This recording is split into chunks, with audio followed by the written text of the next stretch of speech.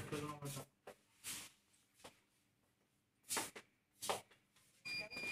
पूरा फिर आ गया ये साइड भेजो